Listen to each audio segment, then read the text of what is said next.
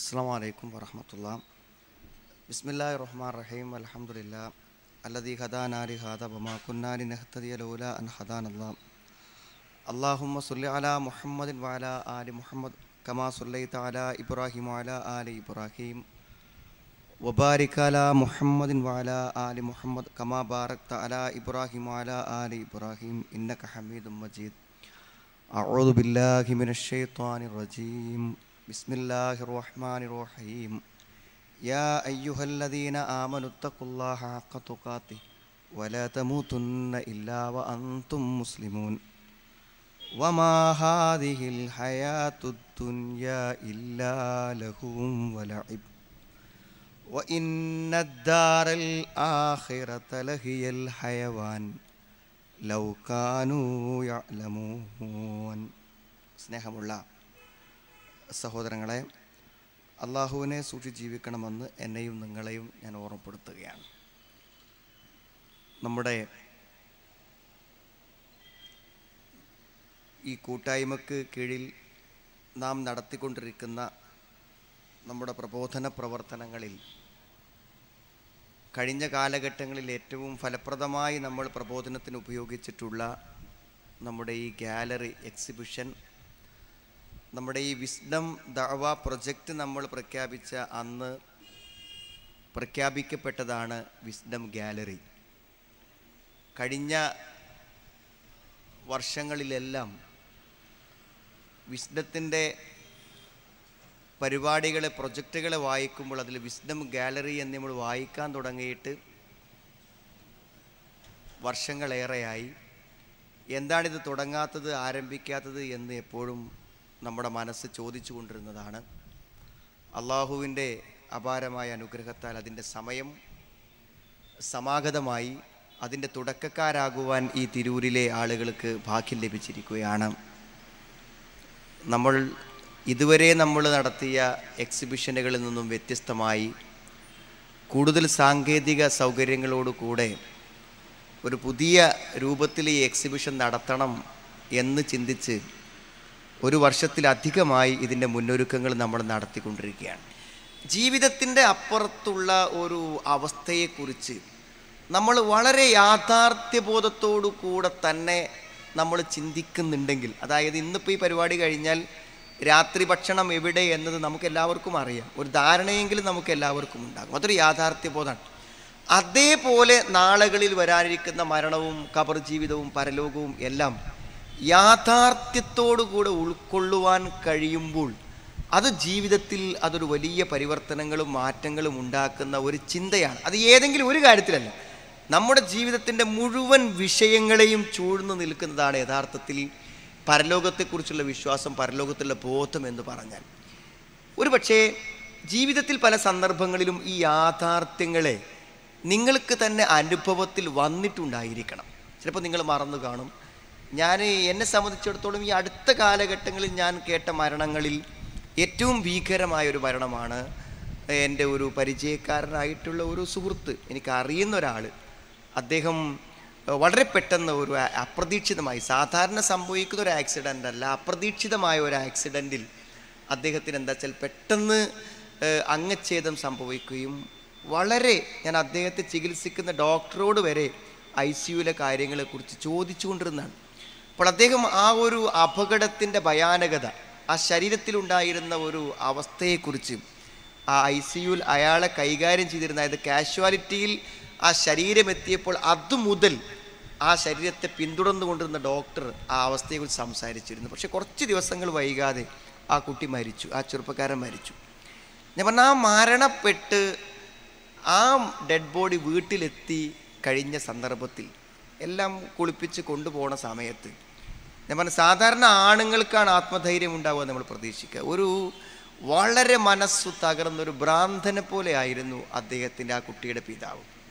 എന്നാൽ ആ മയ്യത്ത് ഇറങ്ങുമ്പോൾ ശരിക്കും എന്താ വെച്ചാൽ ഒരു മകൻ വിവാഹപ്പന്തലിൽ നിന്നും പുതിയാപ്പിളയായിട്ട് ഇറങ്ങുമ്പോൾ ആ മകനെ പിന്തുടർന്ന് അവൻ ജീപ്പിൽ കയറുന്നത് നോക്കിക്കാണുന്ന പോലെ ആത്മധൈര്യത്തോടെ തിളങ്ങുന്ന കണ്ണുകളോടെ ആ കുട്ടിയുടെ ഉമ്മ ആ കാഴ്ച നോക്കി നിന്നു. അതിനു സാക്ഷിയായ ഒരാൾ നേർക്ക് നേരെ എന്നോട് പറഞ്ഞ കാര്യമാണ് നോക്കി നിന്നു എന്ന് മാത്രമല്ല ആ സ്ത്രീ ആ മയ്യത്ത് കണ്ണിൽ നിന്ന് അകന്നകന്നകന്നു പോകുമ്പോൾ അതിന്റെ കൂടെ പോകാതെ വീട്ടുമുറ്റത്ത് നിൽക്കുന്ന ആ സ്ത്രീ പറഞ്ഞ വാക്ക് സുഹൃത്തുക്കൾ അതൊക്കെ വിശുദ്ധ ഖുർആൻ തന്ന യാഥാർത്ഥ്യ ബോധത്തെ ശരിക്കും മനസ്സിൽ ഉൾക്കൊണ്ടുകൊണ്ട് പറയുന്ന വാക്കാണ്. സ്വർഗത്തിൽ എനിക്ക് ലഭിക്കുന്ന മുത്താണ് അത് എന്നാണ്. എന്ന് പറഞ്ഞാൽ സ്വർഗം എന്നൊരു ലോകമുണ്ട് അവിടെ ഒരു പുനഃസംഗമമുണ്ട്. ഇന്നലെ വരെ ഞാൻ പായ വിരിച്ചുറക്കിയ എന്റെ മകനെ ഇനി വീണ്ടും ഞാൻ കാണുന്ന ഒരു നിമിഷം ഉണ്ടെന്നുള്ള ബോധം അതൊരു പ്രസംഗത്തിന്റെ വിഷയം മാത്രമല്ല. ഒന്നര മണിക്കൂർ പരലോകം കേട്ട് എഴുന്നേറ്റ് പോകുന്ന വികാരമല്ല. അതൊരു യാഥാർത്ഥ്യ ബോധത്തിന്റെ വായനയാണ്. നമ്മളൊന്നും അവിടേക്ക് എത്തിയോന്ന് അറിയില്ല. കാരണം അത് അറിയില്ല എന്ന് പറയാൻ കാരണം എന്താന്ന് വിചാരിച്ചാൽ പ്രതിസന്ധികളും പരീക്ഷണങ്ങളും മുന്നിൽ നിൽക്കുമ്പോൾ ഈ പരലോകം നമ്മളിൽ പ്രവർത്തിക്കണം. പറയാനും പ്രസംഗിക്കാനും എന്താണ് സുഹൃത്തുക്കളെ? കാണാതെ വെച്ച ആയത്തുകൾ ഓതി പറയാൻ എന്തു പ്രയാസം? പക്ഷേ അത്തരമൊരു ഘട്ടത്തിൽ നിൽക്കുമ്പോൾ കയ്യിൽ കളിക്കുന്ന കുട്ടി തൊട്ടുമുന്നിലെ തീയിലേക്കോ വെള്ളത്തിലേക്കോ വീണ് ശ്വാസമടങ്ങി വിരൂപമായി കിടക്കുമ്പോൾ ആ മയ്യത്ത് നോക്കി ഈ തൊലികൾ ഒരു പുനർനിർമ്മിതി നടന്ന് ഈ എല്ലുകൾ ഒരുമിച്ച് ചേർന്ന് ഈ കണ്ണുകൾ ജീവനോടെ തുറന്ന് ശരീരത്തിലേക്ക് ആത്മാവ് വീണ്ടും തിരിച്ചു വന്ന് ജീവനോടെ എഴുന്നേറ്റ് വന്ന് പുനഃസംഗമിക്കുമെന്ന് വിശ്വസിക്കാൻ ജീവിതത്തിന്റെ ഒരു ഘട്ടത്തിൽ സാധിക്കുമെങ്കിലേ ഈ വിശ്വാസത്തെ വിശ്വാസമെന്ന് പറയാൻ പറ്റുള്ളൂ. കേൾക്കാനുള്ള സുഖവും പറയാനുള്ള സുഖവും ജീവിത രംഗങ്ങൾ മുന്നിൽ വരുമ്പോൾ ഉണ്ടായിക്കൊള്ളണമെന്നില്ല സുഹൃത്തുക്കളെ. ഒരു വേള നിങ്ങൾ ചിന്തിക്കണം ഈ ഒരു ബോധം ഹൃദയത്തിൽ എത്താതെ ഈ ഭൗതിക ജീവിതത്തിൽ ജീവിക്കുന്ന ഒരാൾ അനുഭവിക്കുന്ന മനസ്സ് അത് നമ്മൾ മനസ്സിലാക്കിയിട്ട് എഴുതിയതാണ് ഈ വാചകം. അല്ലാതെ നടക്കുന്ന എല്ലാ വിഷയങ്ങളിൽ നിന്നും ഒരു പുതുമ സൃഷ്ടിക്കാൻ ഒരു പുതിയ വിഷയം കണ്ടെത്തിയതല്ല. അതിന്റെ ഓരോ മേറ്ററുകളും വരികളും രൂപപ്പെട്ട് വരുമ്പോൾ അതിലെ ചെറിയൊരു ഭാഗതയും നിർവഹിച്ച ഒരാളെന്ന നിലയ്ക്ക് അതിന്റെ ഓരോ ചിന്തകളും കൈകാര്യം ചെയ്യുമ്പോൾ ഒരു വാചകം എഴുതുന്നത് നൂറ് വാചകങ്ങൾ ചർച്ച ചെയ്തിട്ടാണ് ഒരു വാചകം എഴുതുന്നത്. എവിടെന്നെങ്കിലും കോപ്പി അടിച്ചോ പരിഭാഷപ്പെടുത്തി എഴുതുന്ന വാചകങ്ങളല്ല ഇത്. മനുഷ്യന്റെ പച്ചയായ ജീവിതവുമായി കൊണ്ട് ഈ ഫ്ലെക്സിലെ ഓരോ വരികളും എങ്ങനെ ബന്ധപ്പെടുന്നു എന്ന് ചർച്ച ചെയ്ത് എഴുതിയതാണ്. അതിന് അതിന്റെതായ ഒരു സ്വാധീനമുണ്ട് സുഹൃത്തുക്കളെ. ഞാൻ പറഞ്ഞത് ഏറ്റവും അധികം പരലോകത്തെക്കുറിച്ച് പറയുമ്പോൾ മനസ്സമാധാനവും മനസ്സന്തോഷവും ഒരു മനുഷ്യൻ അനുഭവിക്കണമെങ്കിൽ പണ്ഡിതന്മാർ പറഞ്ഞത് എന്താ നിങ്ങൾ ഈ ലോകം ഈ ലോകം തല്ല മനുഷ്യന്റെ ജീവിതം എന്നൊരു വ്യക്തി മനസ്സുകൊണ്ട് ബോധ്യപ്പെട്ടിരിക്കണം എന്നാണ്. എന്റെ ജീവിതം ഈ ലോകത്തല്ല എന്നൊരാൾക്ക് മനസ്സിലാവുക. അത് ചെറിയ കാര്യമല്ല അത് നമുക്ക് മനസ്സിലാവണം നമ്മുടെ ഭാര്യയ്ക്ക് മനസ്സിലാവണം ഈ നാട്ടിലെ മുഴുവൻ ആളുകൾക്കും മനസ്സിലാവണം. അത് മനസ്സിലാക്കിയവന്റെ ജീ ജീവിത കാഴ്ചപ്പാട് തന്നെ വേറെയാണ്. ഞാൻ വിശുദ്ധ ഖുർആാനിൽ നിന്ന് പാരായണം ചെയ്ത വചനം ഇരുപത്തി ഒമ്പതാമത്തെ സൂറത്തിലെ നാലാമത്തെ വചനമാണ്. നോക്കൂ നിങ്ങൾ വമാഹാദിഹിൽ. ഈ ലോകത്തെ ജീവിതം എന്ന് പറഞ്ഞാൽ എന്താന്ന് പറഞ്ഞത്? ജീവിതാണെന്നല്ല പറഞ്ഞത്. ഈ ലോകത്തെ ജീവിതത്തെ കേവലം ഒരു കളിയും വിനോദവുമായിട്ടാണ് ഖുർആൻ പരിചയപ്പെടുന്നത്. അത് സുഹൃത്തുക്കൾ ഒരു ഗെയിമാണ്. സത്യമാണ് ഈ പറഞ്ഞത്. വളരെ സീരിയസ് ആയി വേർത്ത് കോപിച്ച് ആകെ ടെൻഷൻ അടിച്ച് നിൽക്കുന്ന ഒരാളോട് നിങ്ങൾ ചോദിച്ചു നോക്കുകൊണ്ടെങ്കിൽ നിസ്സാരങ്ങളിൽ നിസ്സാരമായ കാര്യത്തിനാണ് ടെൻഷൻ അടിക്കുന്നത്. ഞാൻ എത്രയോ ആളുകളുടെ സംസാരങ്ങൾ കേട്ടതാണ്. എന്താണ് ആവശ്യം? ഒരാവശ്യവുമില്ലാത്തത് ചിന്തിച്ചിട്ടാണ് മനുഷ്യൻ ഇവിടെ പ്രഷറും മാനസിക രോഗവുമായിട്ട് ജീവിക്കുന്നത്. ഒന്നും ഒരാവശ്യവുമില്ലാത്ത ചിന്ത. ഞാൻ ആലോചിക്കുമ്പോൾ നമുക്ക് സങ്കടം തോന്നിപ്പോകും. നിങ്ങൾ എപ്പോഴെങ്കിലും ചിന്തിച്ചിടും നിങ്ങൾക്ക് പറ്റുമെങ്കിൽ നിങ്ങൾ അത് ചെയ്യേണ്ട കാര്യമാണ്. എന്തരും? എപ്പോഴെങ്കിലും ടെൻഷൻ അടിക്കുമ്പോൾ നിങ്ങളുടെ മനസ്സിലൂടെ കടന്നു പോകുന്ന ചിന്ത വെറുതെ ഒരു പേപ്പർക്ക് എഴുതുക. പേപ്പർക്ക് എഴുതിയിട്ട് കുറച്ച് കഴിഞ്ഞ് വായിച്ചു നോക്കിയാൽ മതി. ആ ചിന്ത കൊണ്ട് ഒരു കാര്യവുമില്ലാത്ത കാര്യങ്ങളാണ് നമ്മൾ ആലോചിക്കുക. ആലോചിക്കുക നിങ്ങൾക്ക് നിങ്ങൾ നിങ്ങൾക്കൊരു അംഗവൈകല്യമുള്ളൊരു കുട്ടിയുണ്ട് നോക്കും നിങ്ങൾ. എന്തെങ്കിലും കുറച്ച് ബുദ്ധിമാന്യമോ അല്ലെങ്കിൽ ശരീര വൈകല്യമുള്ളൊരു കുട്ടിയുണ്ട് നിങ്ങൾ ചിന്തിച്ചോളിയും അങ്ങനത്തെ ഒരു കുട്ടി നിങ്ങൾക്കുണ്ടെങ്കിൽ നിങ്ങൾ എന്താണ് ചിന്തിക്കുന്നത്? ആ കുട്ടിയുടെ വിവാഹം എങ്ങനെ നടക്കും? ഞങ്ങൾ മരണപ്പെട്ടാൽ ആ കുട്ടി ആര് നോക്കും? ആ കുട്ടി എങ്ങനെ ജീവിത കാര്യങ്ങളുമായി മുന്നോട്ട് പോകും? ഒരേ ഒരു രക്ഷിതാവ് ചിന്തിക്കും. ഒരു ഉമ്മ അത് മാത്രം ചിന്തിച്ച് ടെൻഷൻ അടിച്ച് അവിടെ ജീവിതം തന്നെ തകരും. എന്നാൽ നിങ്ങൾ ആലോചിച്ച് നോക്കും നിങ്ങൾ. ആ ചിന്ത ഞാൻ അതാണ് ചിന്തിച്ചത് എന്നൊരു പേപ്പറിൽ എഴുതിയിട്ട് അല്പം ബുദ്ധിയിലൊരാൾ സംസാരിക്കുമ്പോൾ എന്താണ്? ഇവർ ടെൻഷൻ അടിച്ചത് കൊണ്ട് എന്തെങ്കിലും പരിഹാരമാകും സുഹൃത്തുക്കളെ. എന്തെങ്കിലും പരിഹാരമാകും. ആ കുട്ടിയുടെ ജീ ഭാവി ജീവിതത്തിന്റെ സുരക്ഷിതത്വത്തിന് ഈ ചിന്തകളെ കൊണ്ട് എന്തെങ്കിലും പ്രയോജനം ഉണ്ടാകും? എന്തെങ്കിലും ആ ചിന്തകളുടെ പകുതി ഭാരമില്ല ആ കുട്ടിക്ക് വേണ്ടി എന്തെങ്കിലും ഒന്ന് ചെയ്തു കൊടുക്കാൻ. അതിന്റെ പകുതി ആ വൈകല്യമുള്ള കുട്ടിക്ക് ഭക്ഷണം കൊടുക്കാനും മലമൂത്ര വിസർജ്യങ്ങൾ ചെയ്യാനുമുള്ള ശാരീരികവും മാനസികമായ അധ്വാനം ഈ ടെൻഷന്റെ പത്തിൽ ഒന്നില്ല അവരനുഭവിക്കുന്ന മാനസിക വ്യതയുടെ പത്തിൽ ഒന്നില്ല അത്ര വലിയ ടെൻഷൻ. എന്താണ്? ഒന്നുമില്ല. സുഹൃത്തുക്കളെ ഇതാണ് ജീവിതമെങ്കിൽ യഥാർത്ഥത്തിൽ എന്റെ കുഞ്ഞും മറ്റു കുഞ്ഞുങ്ങളെ പോലെ ജീവിക്കേണ്ടിയിരുന്നു. ഇതാണ് ജീവിതമെങ്കിൽ മറ്റുള്ളവർ ജീവിക്കുന്ന പോലെ എനിക്ക് ജീവിക്കേണ്ടിയിരുന്നു. അതുകൊണ്ട് നിങ്ങളാച്ചക്ക് പരലോകത്തിൽ വിശ്വാസമില്ലാതെ ഇവിടെ ജീവിക്കുന്ന അനവധി നിരവധി ജനങ്ങൾ അവർ സുഹൃത്തുക്കളെ മുഴുവൻ ചിന്തകളും ഈ ലോക ജീവിതത്തെ ജീവിതമാക്കി മാറ്റാനുള്ള ചിന്തകളാണ് നടത്തുന്നത്. ഇവിടെ എനിക്ക് ജീവിക്കണം. എനിക്ക് മറ്റുള്ളവരെ കൂടെ വീട് വേണം. എനിക്ക് രോഗമുക്തമായ ഒരു ജീവിതം വേണം. എന്റെ ബന്ധുക്കൾക്ക് സുരക്ഷിതം വേണം. എന്റെ മക്കൾക്ക് ഭാവി വേണം. ഇത് മാത്രമാണ് ചിന്തിക്കുന്നത്.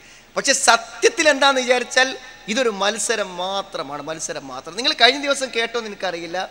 ഒരു പെൺകുട്ടി വിവാഹം കഴിഞ്ഞതിന് ശേഷം അവളെ കൂട്ടുകാരികൾ അവളെ കളിയാക്കി. എന്തിനാ കളിയാക്കി കളിയാക്കിയത്? നിന്റെ ഭർത്താവിന് ഗ്ലാമർ ഇല്ല കാണാൻ ഭംഗിയില്ല. നല്ലൊരു രൂപമില്ല. എന്താണ് ഇതിന്റെ അവസ്ഥ? അതിന്റെ പേരിൽ അയാൾ അയാളെ അമ്മിക്കുട്ടി ഉപയോഗിച്ചിട്ട് അടിച്ച് തലക്കടിച്ച് കൊന്നു എന്നാണ് എന്താ പിന്നെ ഒരു ഗെയിം തന്നെ വെറുതെ അല്ല. അതായത് മറ്റുള്ളവർ സൃഷ്ടിക്കുന്ന ബോധത്തിന് വേണ്ടിയാണ് നമ്മൾ പ്രവർത്തിക്കുന്നത്. മറ്റുള്ളവർ സൃഷ്ടിക്കുന്ന ബോധത്തിന് വേണ്ടി. നമ്മൾ ടെൻഷൻ അടിക്കുന്ന ഒരു ചോദിക്കുകയാണ് എന്റെ ഭർത്താവിന് എന്താ ജോലി? എന്റെ ഭർത്താവിന്റെ രൂപം എന്താ? ഫോട്ടോ എന്താ? ചോദിക്കുമ്പോൾ ഇതെന്താണ് കോലം എന്ന് മറ്റുള്ളവർ പറയുമ്പോൾ നമുക്ക് അപകർഷത നമുക്ക് വിഷമം. എന്തുകൊണ്ടാണ് സുഹൃത്തുക്കളെ? ജീവിതത്തിന്റെ അപൂർണതയെക്കുറിച്ചും അതിന്റെ കുറവിനെക്കുറിച്ചും മനസ്സിലാക്കുന്നില്ല എന്നാണ്. ഒരു വിനോദത്തിന്റെ ത്രില്ല് ഒരു കളിക്കാരന് കിട്ടുന്ന ആനന്ദം അതുമാത്രമാണ് യഥാർത്ഥത്തിൽ എന്ത് നിങ്ങൾ ഈ ജീവിതം കൊണ്ട് നേടുന്നത്. എന്നിട്ട് അടുത്ത വാചകം എന്താ നോക്കും നിങ്ങൾ? വമാഹാദിഹിൽ ഇല്ലാ ലഹുവും വലഇബ് ഹയവാൻ. പരലോകത്തെ ജീവിതം അതിനെയാണ് ജീവിതം ലഹിയൽ ഹയവാൻ. അതാണ് യഥാർത്ഥ ജീവിതം. എന്നിട്ട് അടുത്ത വാചകം തരെ. നമുക്കുള്ള താക്കീതാണ് ഈ വസ്തുത എല്ലാവരും മനസ്സിലാക്കിയിരുന്നുവെങ്കിൽ സുഹൃത്തുക്കളെ ലോകത്തെ മുഴുവനും പഠിപ്പിക്കേണ്ടത് ഒരു വീട്ടിക്ക് ഞാനും നിങ്ങളും ഇതിന്റെ ഒരു സൗഹൃദ സന്ദർശത്തിന് ഡോർ ടോറിന് പോകുമ്പോൾ നമ്മളെ മനസ്സിൽ എന്തായാലും ഈ ഈ ഒരു ഈ ഒരു വീടിനും ഈ ഒരു കോലായിക്കും ഇവർ വളച്ചു കെട്ടിയ ഗേറ്റിനും അപ്പുറത്ത് ഈ മരണത്തിന് അപ്പുറത്ത് ഒരു ജീവിതത്തെക്കുറിച്ച് സാധുക്കൾക്ക് അറിയില്ലല്ലോ. ഈ ജീവിതത്തിൽ വന്ന പരീക്ഷണങ്ങളും പ്രതിസന്ധികളും കുറവുകളും രോഗങ്ങളും ബുദ്ധിമുട്ടുകളും എല്ലാം മറ്റൊരു ജീവിതത്തിലേക്കുള്ള തയ്യാറാക്കലാണെന്ന് ചിന്തിക്കാത്ത ആളെ സംബന്ധിച്ചിടത്തോളം സുഹൃത്തുക്കളെ ഭയാനകമാണ് ഇവിടുത്തെ ജീവിതം. നമ്മുടെയൊക്കെ എന്ത് കാര്യങ്ങളിലും പരലോകം ഒരു ഉത്തരായി വരുന്നോണ്ട് നമുക്കൊരു ടെൻഷൻ ഇല്ല. ഒരു കാര്യത്തിലും ടെൻഷൻ ഇല്ല. നാളെ ഇപ്പം നിങ്ങളൊരു ക്യാൻസർ രോഗിയാണെന്ന് പറഞ്ഞാൽ സുഹൃത്തുക്കളെ പരലോകം നിങ്ങളെ മനസ്സിലുണ്ടോ? നിങ്ങളത് ഉൾക്കൊള്ളും. ഒരു വിഷമമല്ലാതെ നമ്മൾ ഉൾക്കൊള്ളും. ഒരു വിഷമമല്ലാതെ ഉൾക്കൊള്ളും. ഒരു പക്ഷേ നമ്മളെ മനസ്സ് പറയും എന്ത്? എന്തപ്പം എനിക്ക് ഇങ്ങനെ ഒന്ന് വരാൻ? ഞാൻ അതിന് മാത്രം തെറ്റുകൾ ചെയ്തോ? പടച്ചോൻ ഇഷ്ടമില്ലാത്ത ഒരാളാണോ അപ്പം നമ്മുടെ മനസ്സിലേക്ക് വരും അയ്യൂബ് നബിക്ക് അസുഖം വന്നില്ലേ? ലോകത്ത് ഇന്നത്തെ ആധുനിക പണ്ഡിതന്മാരിൽ ഏറ്റവും ഉന്നതന്മാരായ ചില പണ്ഡിതന്മാരുടെ ചരിത്രങ്ങൾ ഞാൻ വായിച്ചു. അടുത്ത കാലത്ത് മരണപ്പെട്ട കിബാറുൽ ഒലമാണ് അവരിൽ ക്യാൻസർ വന്ന് അതിന്റെ ചില ചികിത്സകൾ നേടിയിട്ട് മരണപ്പെട്ടു പോയ ആളുകൾ. അപ്പം അതങ്ങനെ ആർക്കും വരാം.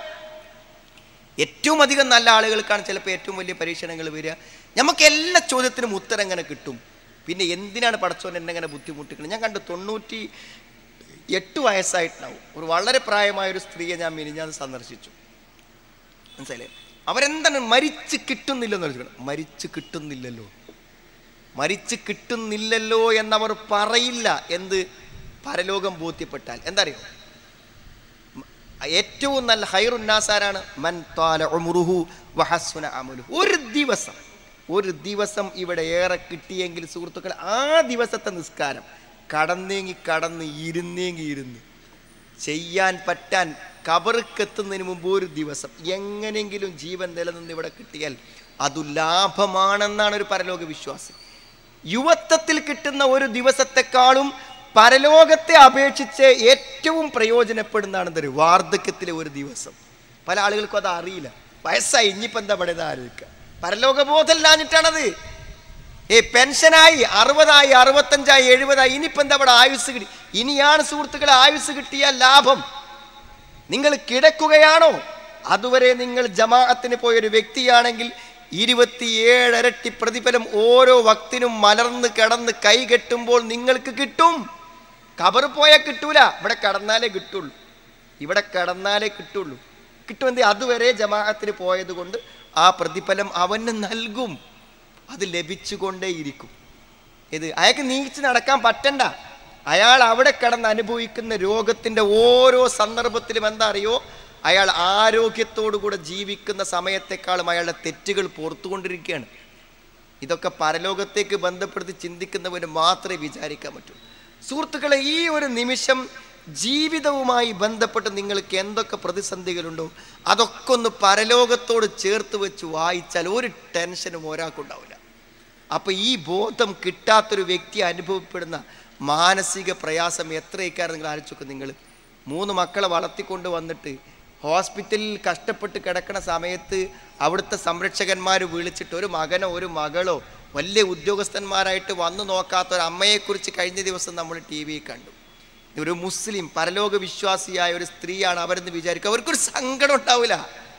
ഒരു കുട്ടി വന്നു നോക്കിയില്ലെങ്കിൽ ഒരു സങ്കടം അവർക്ക് ഉണ്ടാവില്ല എന്താ എന്നെ സംബന്ധിച്ചിടത്തോളം ഞാൻ എന്താണ് ആളുകൾ നോക്കാൻ ആവശ്യമില്ലാത്ത പരിചാരകന്മാർ വേണ്ടതില്ലാത്ത പുതപ്പ് കാലുമ്മലേക്ക് നീക്കിയിട്ട് തരാൻ ആൾ വേണ്ടതില്ലാത്ത ബാത്റൂമിലേക്ക് എടുത്തു കൊണ്ടുപോകാൻ ആളുകൾ വേണ്ടതില്ലാത്തൊരു ലോകത്തേക്കാണ് പോണത്. അവിടെ സുന്ദരമായ ഉറക്കവും സന്തോഷവും സമാധാനവും മണിമന്ദിരങ്ങളുമുള്ള ക്ഷീണമില്ലാത്ത പരസഹായം ആവശ്യമില്ലാത്തൊരു സ്വർഗം അവിടേക്കാണ് ഞാൻ പോണത്. സുഹൃത്തുക്കളിത് ബോധ്യപ്പെട്ട് ഓരോന്നും നമ്മുടെ സാമ്പത്തികാവസ്ഥയെ പരലോകവുമായി ബന്ധപ്പെടുത്തൂ രോഗാവസ്ഥയെ പരലോകവുമായി ബന്ധപ്പെടുത്തു നിങ്ങളുടെ മക്കളുടെ പ്രതിസന്ധികളെ പരലോകവുമായി ബന്ധപ്പെടുത്തു എല്ലാം യഥാർത്ഥ ജീവിതത്തിലേക്കുള്ള മുന്നൊരുക്കവുമായി ബന്ധപ്പെടുത്തിയാൽ മനുഷ്യന്റെ മനസ്സൻ ഫ്രീ ആവുന്നതാണ്. ഈ കഴിഞ്ഞ ദിവസം ജീവിത സൗഭാഗ്യത്തിലുള്ള ആറ് കാര്യങ്ങൾ ഒരു പണ്ഡിതൻ വിശദീകരിച്ചപ്പോൾ അതിൽ കണ്ട രണ്ട് കാര്യം തരൂ അന ചി മനുഷ്യന് ടെൻഷൻ ഉണ്ടാക്കുന്ന കഴിഞ്ഞ കാലത്തെയും വരാൻ പോകുന്ന ഈ കാലത്തെ ചിന്തകൾ ഒഴിവാക്കിയാൽ തന്നെ മനുഷ്യന് സമാധാനമായി എന്ന്. രണ്ടാമത് അദ്ദേഹം പറഞ്ഞത് ഇതു ജീവിതമാണ്. ഇവിടെയാണ് എന്റെ ജീവിതത്തിന്റെ സുഖസന്തോഷങ്ങൾ എന്നൊരാൾ വിചാരിക്കുന്നുണ്ടെങ്കിൽ അയാൾക്ക് ഇവിടെ സമാധാനത്തോടെ ഉറങ്ങാൻ പറ്റില്ല എന്ന് സമാധാനത്തോടെ ഉറങ്ങാൻ പറ്റൂല എന്നാണ് അപ്പോൾ പരലോകത്തൊരു ജീവിതമുണ്ട് എന്ന് നമുക്ക് ബോധ്യപ്പെടാനും മറ്റുള്ളവരെ ശരിക്കും ബോധ്യപ്പെടുത്തി കൊടുക്കാനും സുഹൃത്തുക്കളെ ഈ എക്സിബിഷൻ കൊണ്ട് പറ്റും. ഞാൻ പറഞ്ഞ ഒന്നാമത് ഞാൻ അങ്ങോട്ട് പറഞ്ഞത് എന്താ വെച്ചാൽ നമ്മൾ വേറെല്ലോരൊക്കെ വിളിച്ചു പോലൊക്കെ വരും വിഷാല്ല ഞാൻ പറഞ്ഞത് ഈ ഒരു പ്രമേയത്തിൽ നിൽക്കുന്നത് കൊണ്ട് നിങ്ങൾ നല്ലൊരു സമയം കണ്ട് എല്ലാം ഇതിന്റെ വളണ്ടിയർമാരായ ആളുകളും പ്രവർത്തകന്മാരൊക്കെ നല്ലൊരു സമയം കണ്ട് രജിസ്റ്റർ ചെയ്ത് ഒന്നാമത്തെ കവാടത്തിലൂടെ തന്നെ കടന്ന് ഓരോ ഫ്ലക്സും അതിന്റെ മുന്നിൽ നിന്ന് ശരിക്കു വായിച്ച് പൂർത്തിയാകുമ്പോഴേക്കും നമ്മുടെ മനസ്സിൽ പുതിയൊരു വിശ്വാസവും യാഥാർത്ഥ്യബോധവും വരും. ആ യാഥാർത്ഥ്യബോധം വെച്ച് ഇന്നത്തെ നമ്മുടെ ജീവിതത്തെ ഒന്ന് വിശദീകരിച്ചാൽ ഒന്ന് മനസ്സിലാക്കാൻ ശ്രമിച്ചാൽ സുഹൃത്തുക്കളെ വല്ലാത്തൊരു സമാധാനം നമുക്ക് കിട്ടും. നമ്മൾ ആളുകളെ വിളിക്കേണ്ടതും ഇത് പറഞ്ഞിട്ട് തന്നെ മരണത്തിന്റെ അപ്പുറത്തൊരു ജീവിതമുണ്ട് എന്ന് ഇവിടെ കടന്നു പോകുന്ന ഏതൊരുത്തന് ബോധ്യപ്പെട്ടാലും അവൻ ഈ കിടന്നുണ്ട് ഇറങ്ങി പോകുമ്പോഴേക്കിന് വല്ലാത്തൊരു സമാധാനവും നിർവൃതിയും അവൻ നമ്മളോട് രേഖപ്പെടുത്തും. അതിന് ബോധ്യപ്പെടുത്താൻ പരലോകത്തിന് മാത്രമേ പറ്റുള്ളൂ. ലൗഖാനു യാലമുൻ അവരത് മനസ്സിലാക്കിയത്. ഏത്? ഇതല്ല ജീവിതം എന്ന് അവർ അറിഞ്ഞിരുന്നുവെങ്കിൽ നമ്മളോട് ആൾക്കാരെ പഠിപ്പിക്കാൻ ഖുർആൻ പറയണത് ഇതല്ല ജീവിതം. ഇതിന് വലിയൊരു സീരിയസ്നെസ് ഇല്ല. ഇതൊരു കളിയും വിനോദവും ഒരു ത്രില്ല് മാത്രമാണ്. കളിക്കാൻ കഴിയാത്ത സമയം വന്നാൽ ഈ ജീവിതത്തോട് നമുക്ക് നിരാശ വരും വെറുപ്പ് വരും. തൂങ്ങി മരിക്കണമെന്ന് ആലോചിക്കും. ജീവിതം എന്തിനെന്നു ചിന്തിക്കും. അതുകൊണ്ട് ഇതിനപ്പുറത്തൊരു യാഥാർത്ഥ്യ ലോകത്തേക്കുള്ള ഒരു ബസ് സ്റ്റോപ്പിലാണ് ഞാനുള്ളത്. ഇനി വണ്ടി കയറി മരണമെന്ന വാഹനത്തിലൂടെ അനന്തമായ അനുഭവങ്ങളുടെ ലോകത്തേക്ക് ഞാൻ പോവുകയാണ്. രോഗങ്ങളെ കൊണ്ട് വ്യാകുലപ്പെടാത്ത പട്ടിണിയെക്കുറിച്ച് ചിന്തിക്കാത്ത ഭാവിയെക്കുറിച്ച് ആശങ്കപ്പെടേണ്ടതില്ലാത്ത അല്ലതി അഹല്ലന ദാറൽ മുഖാമ സ്ഥിരതാമസത്തിന്റെ ഭവനത്തിൽ ഞങ്ങൾ ഏൽപ്പിച്ചിരിക്കുന്നു. ഞങ്ങളിൽ നിന്നും ദുഃഖങ്ങളെ ഇല്ലാതാക്കിയിരിക്കുന്നു. അള്ളാഹുവിന് സ്തുതി പറഞ്ഞുകൊണ്ട് പ്രവേശിക്കുന്ന ഒരു സ്വർഗം യാഥാർത്ഥ്യമാണെന്ന് വിശ്വസിക്കുന്ന ഒരു വിശ്വാസ ലോകത്തേക്കാണ് സുഹൃത്തുക്കളെ നമ്മുടെ വിചാരം എക്സിബിഷൻ വരുത്തുന്നത്. നിങ്ങളും ചിന്തിക്കേണ്ട ഇതിങ്ങനെ കഴിഞ്ഞു പോകുമ്പോൾ നല്ലൊരു പരിപാടി വിശ്രത്തിന്റെ പ്രവർത്തകന്മാർ നടത്തി എന്നൊരു ഗുഡ് സർട്ടിഫിക്കറ്റിന് വേണ്ടി അതിലുള്ളൊരു സന്തോഷത്തിന് വേണ്ടി നമ്മൾ നടത്തണമെന്നല്ല. നമ്മുടെ മുഴുവൻ പ്രവർത്തകന്മാർക്കും നമ്മളുമായി ബന്ധപ്പെടുന്ന ആളുകൾക്കും ഒരു യാഥാർത്ഥ്യബോധം ജീവിതത്തെയും മരണത്തെയും കുറിച്ചുണ്ടാക്കണം നമ്മൾക്ക് പരിചയമുള്ളവരും പരിചയമില്ലാത്തവരുടെ മുഴുവൻ മനസ്സിലും എന്റെ ജീവിതം ഇതല്ല ഇനിയൊരു ജീവിതമുണ്ട് അതാണ് പ്രധാനം എന്ന ചിന്തയിലേക്ക് അവരെ കൊണ്ടുവരണം. അതിലേക്ക് കൊണ്ടുവരുമ്പോൾ അവർ ചോദിക്കും ഞാൻ എന്തു വേണം? കബറിൽ സ്വസ്ഥമായി ഉറങ്ങാൻ ഞാൻ എന്തു വേണം? സ്വർഗം എനിക്ക് സ്വന്തമാകാൻ എന്തു വേണം? ഭയാനകമായ നരകത്തിൽ നിന്ന് രക്ഷപ്പെടാൻ എന്റെ തൊലികളിൽ തീ സ്പർശിക്കാതിരിക്കാൻ എന്തു വേണം? അവർ ചോദിക്കും. അവിടെയാണ് സുഹൃത്തുക്കളെ അള്ളാഹുവിന്റെ ഏകത്വത്തെക്കുറിച്ചും ജീവിതത്തിന്റെ മുഴുവൻ മേഖലകളിലും വിശാലമായി നിൽക്കുന്ന ഇസ്ലാമിന്റെ നിയമങ്ങളെക്കുറിച്ച് നമുക്ക് പറയാനുള്ളത്. ലൗഖാനു യാലമുൻ ലൗഖാനു യാലമുൻ. ഇതല്ല ജീവിതം എന്ന വസ്തുത. ലോകത്തുള്ളവരെല്ലാം മനസ്സിലാക്കിയിരുന്നുവെങ്കിൽ എന്ന് ഖുർആൻ പറയുമ്പോൾ ആ മനസ്സിലാക്കലിൽ എന്തോ വലിയ കാര്യങ്ങൾ ഉൾക്കൊള്ളുന്നു എന്ന് ഈ പദപ്രയോഗത്തിന് നമുക്ക് മനസ്സിലാക്കാൻ പറ്റും. അതുകൊണ്ട് അതാണ് നമുക്ക് ജനങ്ങളോട് പറയാനുള്ളത്. ഇപ്പോഴും ആളുകൾ വന്നിട്ട് എന്താണ് ഇപ്പോൾ ഈ കടലിലെ വല്ല അപൂർവ മത്സ്യങ്ങളെയും ഇവിടെ പ്രദർശിപ്പിക്കുന്നുണ്ടോ എന്ന് ഇപ്പോഴും ചോദിക്കുന്ന ആൾക്കാരുണ്ട്. സുഹൃത്തുക്കളെ അതല്ല ഇവിടെ. ഇവിടെ വിശുദ്ധ ഖുർആാന്റെ വചനങ്ങളെക്കാളും അത്ഭുതകരമായ മറ്റൊന്നില്ലെന്ന് നമുക്ക് മനസ്സിലാകാതിരിക്കരുത്. ഖുർആാന്റെ വചനങ്ങളെക്കാളും അത്ഭുതമുള്ള വേറെന്തെങ്കിലും ഉണ്ടോ? മനുഷ്യന്റെ ജീവിതത്തെ സമ്പൂർണമായി പരിവർത്തിപ്പിക്കുവാൻ പറ്റുന്ന ഏത് വ്യാകുലതകളിലും പിടിച്ചു നിൽക്കാൻ പറ്റുന്ന നല്ല ചിന്തകളെയും വെളിച്ചങ്ങളെയും നൽകുന്ന അതിനേക്കാളും വലുത് വേറെ എന്താ ഉള്ളത് അതുകൊണ്ട് നമുക്ക് വിശുദ്ധ ഖുർആാന്റെ വെളിച്ചം ജനമനസ്സുകളിലേക്ക് എത്തി അതിന്റെ പ്രകാശത്തിൽ അവർ സന്തോഷത്തോടെയും അഭിമാനത്തോടെയും ജീവിക്കാനാണ് കപ്പലിൽ യാത്ര ചെയ്യുന്ന സമയത്ത് ബോധ്യപ്പെട്ടൊരു കാര്യം ഏറ്റവും ലാസ്റ്റ് ഇപ്പോൾ ലക്ഷദ്വീപ് പോയപ്പോൾ ബോധ്യപ്പെട്ടൊരു കാര്യമാണ് എന്താ നിങ്ങൾ കപ്പലിൽ ഇങ്ങനെ നിൽക്കുമ്പോൾ നമ്മൾ ദ്വീപും അതേപോലെ തന്നെ കരക്കും അണയുന്ന സമയത്ത് രാവിലത്തെ സമയത്ത് നമ്മൾ ആദ്യം ദ്വീപ് കാണുന്നതിന് മുമ്പ് നമ്മൾ കാണുക. വെളിച്ചത്തിന്റെ ചില മിന്നലുകളാണ് തിളക്കങ്ങളാണ് കാണുക. ആ തിളക്കം മാത്രം വേറൊന്നും കാണൂല. കടലിന്റെ കൂരാക്കൂരിരുട്ടുകളെ ഭേദിച്ച് ദ്വീപിന്റെ ആ ചെറിയ വെളിച്ചത്തിന്റെ കിരണങ്ങൾ കാണും. വെളിച്ചത്തിന് അത്ര ശക്തി ഉണ്ട് എത്ര ദൂരം കാണാൻ വെളിച്ചത്തിനെ പറ്റും. ഒരു വലിയ പർവതം പോലും ദൂരം നമ്മൾ കാണൂല. വലിപ്പം കൊണ്ട് കാണൂല. വലിപ്പത്തിനേക്കാളും കണ്ണുകൾക്ക് ദൂരം കാണാൻ പറ്റുക വെളിച്ചത്തെയാണ്. വെളിച്ചം എന്ന് പറഞ്ഞ ഖുർആാനെ പറ്റി നൂർ എന്ന് പറഞ്ഞ വെളിച്ചം. സുഹൃത്തുക്കളെ ഇരുട്ടുകളിൽ ജീവിത പ്രതിസന്ധി അനുഭവിക്കുന്നവർക്ക് പ്രതീക്ഷകളുടെ ചില കിരണങ്ങൾ നൽകുന്നതാണ് ഖുർആാന്റെ ഓലോ നൂറ മുബീന അൻസൽന ഇലൈക്കും നൂറ മുബീന വ്യക്തമായ വെളിച്ചം. പിന്നെ കപ്പലിൽ നിന്ന് ഇങ്ങനെ മേലൊക്കെ നോക്കിയാൽ കാണുന്ന തരങ്ങൾ നക്ഷത്രങ്ങളെയാണ്. എത്ര ദൂരെയാണ് നിൽക്കുന്നത് വെളിച്ചം കൊണ്ടല്ലേ കാണുന്നത്? സുഹൃത്തുക്കളെ എത്ര ദൂരെയാണ് നിൽക്കുന്നത് ഏത് വളരെ ആയിരം ആളുകളെ വെച്ച് പറക്കുന്ന വിമാനം പോലും നമുക്ക് ചെറിയൊരു ടോയ് ഒരു ഒരു ചെറിയ കളിക്കോപ്പ് ഒരു കളിക്കോപ്പ് പോലെ കാണുമ്പോൾ നക്ഷത്രങ്ങൾ എന്ന് പറയുന്നത് ദൂരെ കാണുന്നത് എന്തുകൊണ്ടാണ്? നിങ്ങൾ വെളിച്ചം കൊണ്ടാണ്. ആ വെളിച്ചമാണ് ഖുർആൻ. അതുകൊണ്ട് നമുക്കും നമ്മുടെ ഹൃദയങ്ങൾക്ക് വെളിച്ചം നൽകുന്ന ഖുർആന്റെ ചിന്തകൾ. അതിലേറ്റവും പ്രധാനപ്പെട്ട ചിന്തയാണ് നാളെ പരലോകത്തെക്കുറിച്ചുള്ള യാഥാർത്ഥ്യ ബോധം അതുകൊണ്ടാണ് വീടുകളിൽ മുഴുവനും കൊടുത്ത പുസ്തകത്തിന്റെ ഹെഡിങ് എന്താണ്? ജീവിതം എന്തിനു വേണ്ടി? ഞാൻ ദീരിപ്പിക്കുന്നില്ല ഞാൻ പറഞ്ഞത്രയുള്ളൂ. ഇതൊക്കെ വെറുതെ എഴുതി വെക്കണമെന്ന് വിചാരിക്കരുത്. ഇതൊക്കെ എന്നെയും നിങ്ങളെയും ബാധിക്കുന്ന കാര്യങ്ങളാണ്. നമ്മൾ ക്ഷണിക്കുന്നവരെ ബാധിക്കുന്ന കാര്യങ്ങളാണ്. ഇതിന്റെ ഓരോ വരികളും ബോധപൂർവമാണ്. ഇവിടെ ആളുകൾക്ക് നൽകുന്നത് വിശുദ്ധ ഖുർആാന്റെ വെളിച്ചമാണ്. ആ വെളിച്ചം നമ്മുടെ നിർമ്മൃതിയല്ല. നമ്മളാണ് ഫ്ലെക്സുകളൊക്കെ ഉണ്ടാക്കണമെങ്കിലും ഇവിടെ നമ്മൾ നൽകുന്ന ആശയം ദൈവികമാണെന്ന ബോധം നമ്മുടെ മനസ്സുകളിൽ എപ്പോഴും വേണം ഈ ദൈവിക സന്ദേശങ്ങളെ ജനങ്ങൾക്ക് എത്തിച്ചു കൊടുക്കാനുള്ള ഈ പ്രവർത്തനങ്ങൾ വിജയകരമാക്കാൻ നിങ്ങൾ പ്രാർത്ഥിക്കണം. നമ്മുടെ ജീവിതത്തിലും എക്സിബിഷൻ കഴിയുമ്പോൾ ഒരു പുതിയ സമാധാനത്തിന്റെയും സന്തോഷത്തിന്റെയും യാഥാർത്ഥ്യബോധം സൃഷ്ടിക്കുവാൻ ഈ വിചാരത്തിന്റെ ചിന്തകൾക്കും ഇതിലൂടെ കടന്നു പോകുന്ന നാം വായിക്കുന്ന ആയത്തുകൾക്കും ആലോചനകൾക്കും ചിത്രങ്ങൾക്കും പറ്റും എന്നാണ് നമ്മൾ വിശ്വസിക്കുന്നത്. അള്ളാഹു ആ യാഥാർത്ഥ്യബോധം നമ്മളെ നിലനിർത്തുകയും നമ്മുടെ ജീവിതത്തെ പൂർണമായും പരിവർത്തിപ്പിക്കുകയും ഇഹലോകത്തും പരലോകത്തും സമാധാനം അനുഭവിക്കുവാനും മറ്റുള്ളവർക്ക് ഈ സമാധാന സന്ദേശം പകർന്നു നൽകുവാനും അള്ളാഹു നമുക്കെല്ലാവർക്കും അനുഗ്രഹം പ്രദാനം ചെയ്യുമാറാവട്ടെ.